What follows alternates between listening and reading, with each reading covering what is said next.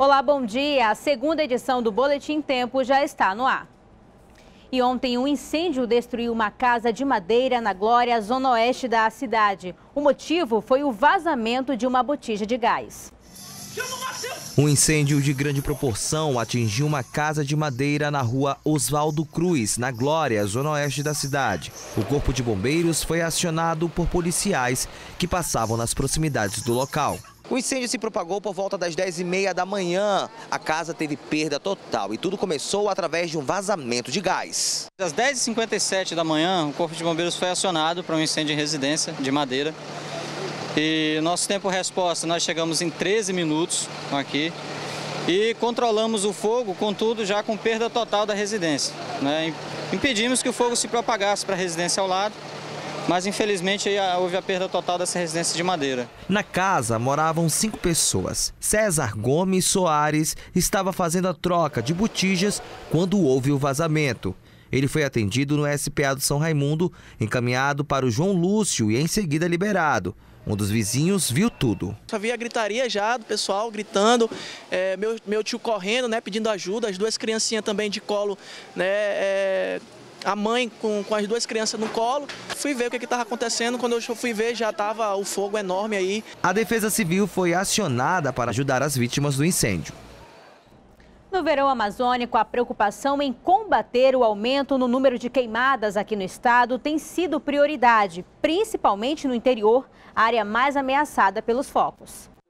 As altas temperaturas indicam a chegada do verão amazônico, mas o período quente e seco preocupa as autoridades. É nessa época do ano que o número de queimadas aumenta, principalmente no interior do estado. Nos municípios da região do interior do estado, é, as, grandes, as grandes ocorrências se dão com o meio rural no preparo do solo para atividade agrícola, né? que as pessoas queimam a vegetação, então, para poder fazer, plantar ro, fazer a roça, para a macaxeira, para a produção de farinha, para as outras atividades agrícolas. Os municípios que mais preocupam são Altazes, Careiro, Manaquiri, Presidente Figueiredo e Iranduba. Ano passado, 15 mil focos de incêndios foram registrados no Amazonas e foi sentido principalmente em Manaus, quando a população enfrentou dias cinzentos. Só esse ano, de janeiro a julho, foram registrados 1.500 casos aqui na capital,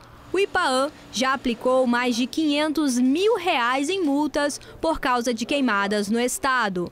De acordo com uma pesquisa feita pelo Batalhão Florestal em Manaus, o maior número de incidência de queimadas urbanas acontece na Cidade Nova, Zona Norte. Elas são feitas entre meio-dia e 6 horas da tarde nos finais de semana. E o principal motivo é para a limpeza de terrenos. As câmeras de segurança do CIOPS ajudam os bombeiros a identificar esses casos e evitam desperdícios com trotes.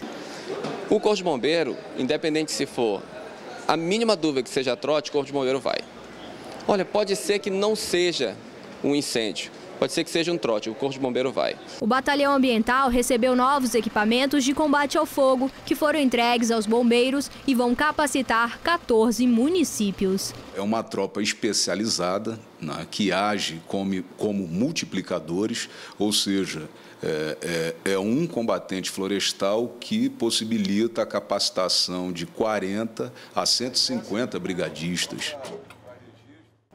E nesse domingo, na Ponta Negra, manifestantes se reuniram em um ato contra a presidente afastada Dilma Rousseff e a corrupção. Cerca de 60 manifestantes se reuniram na Ponta Negra, zona oeste da capital, em protesto pró-impeachment da presidente que está afastada, Dilma Rousseff. Ato democrático em apoio, primeiro, ao impeachment de Dilma Rousseff, que é bom fazer a sociedade entender que ela ainda não sofreu impeachment, ela foi apenas afastada.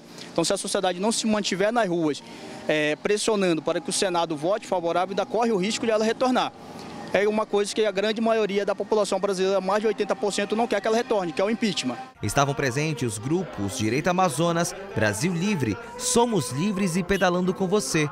Eles são a favor da Operação Lava Jato e do projeto de lei que estabelece medidas contra a corrupção. A gente tem que ter uma mudança em geral no país.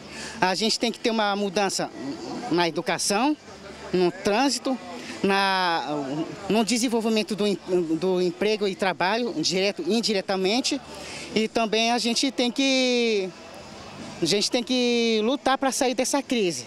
Tá difícil, né, a situação. O Brasil, do jeito que tá, e a gente quer mudança, a gente não aceita é, mais a humilhação, a gente não aceita mais a vergonha, né? É, a, a, a, palavra certa é a vergonha, o, o descaso com o brasileiro. A votação do impeachment no Senado Federal será no dia 26 de agosto. Uma exposição mostra os trabalhos de um fotógrafo libanês que viveu em Manaus na década de 90.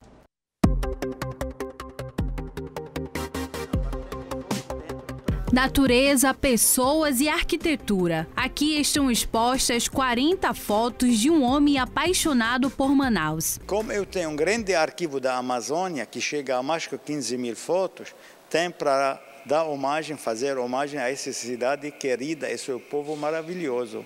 Jaque Menaza morou oito anos em Manaus. Para ele foi quase impossível deixar de se apaixonar pela cidade. Jaque foi embora daqui em 1998 e só este ano voltou para cá e trouxe junto a exposição. A exposição retrata momentos de alegria e até mesmo tristeza em que o fotógrafo já viveu em sua cidade, no Líbano, na Europa e aqui em Manaus. São fotos de uma lembrança que eu tive nos últimos 10 anos minha, de, da minha vida. São fotos, pode ser do lembranças do felicidade ou do tristeza. E foi com este tema, Fragmentos de Lembranças, que ele trabalhou nesta exposição. E isso chamou a atenção da colombiana Isabel.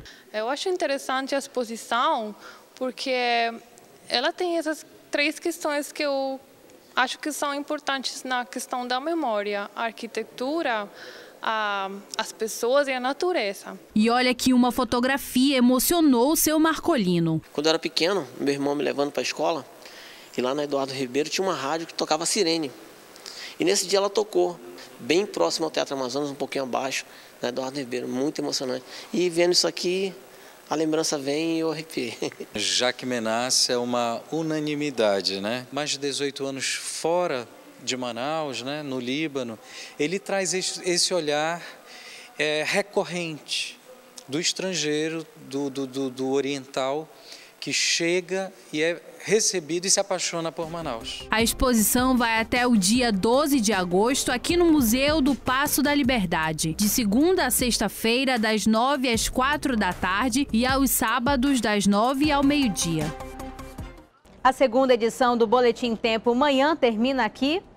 Eu espero você amanhã.